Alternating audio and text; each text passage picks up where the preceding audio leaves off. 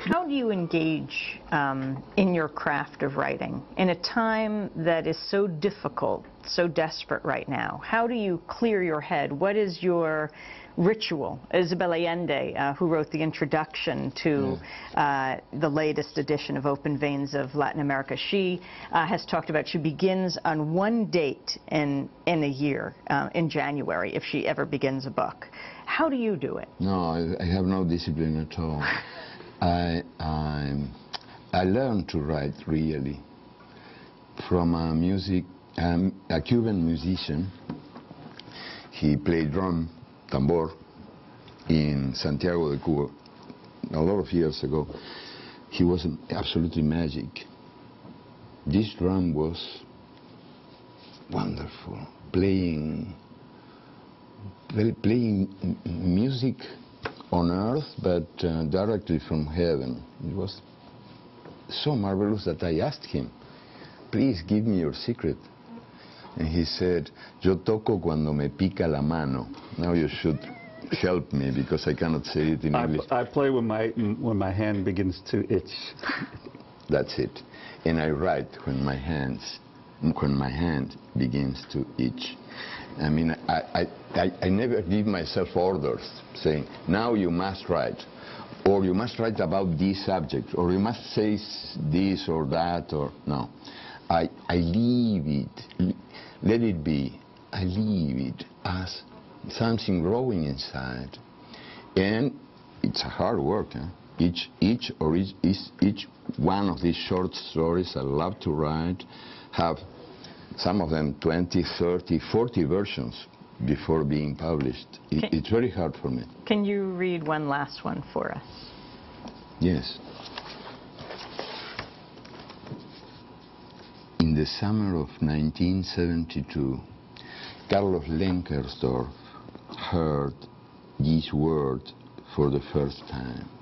He had been invited to an, an assembly of Tzeltal Indians in the town of Bachajon, and he did not understand a thing. He was unfamil- unfamiliar with the language, and to him the heated discussion sounded like, like some sort of um, crazy rain. The word tik came through the downpour. Everyone said it, repeated it, tik, tik, tik. And its pitter patter rose above the torrent of voices. It was an assembly in the key of tik. Carlos had been around a lot and he knew that in all languages, I is the word used most often. I. But tik, the word that shines at the heart of the sayings and doings of these Mayan communities, means we.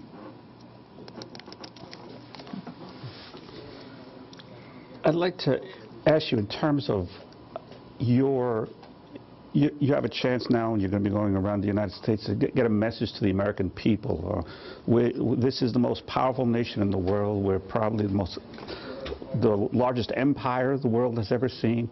Uh, what is the role of the American people in the world today and what should be the role? As, To different, as distinct from the government. Yes. I hope they, they may hear other voices. And um, um, it would help to, to understand that uh, the, the world is much more than, than, than the U.S. I mean, this is a very important country indeed, and I come from, from a small country. Most of people doesn't even know where it is. But we are all important. We are all able to say something that deserves to be heard. And um, when, I, when I was living here, in, in, a period I had been here, you know, three, four months teaching us at some universities or so on, I was surprised by the fact that the, the, the world didn't exist, or, or, or for the media, for the big media, it didn't, it didn't exist. Almost no news about the world. And when the news came, Most of people did, didn't know what, what, what was it about. Five seconds. One of my, of my masters, Ambrose Bierce, one century ago, said, wars are not so bad, at least for, for the U.S. For us, wars are not so bad. Wars teach us geography.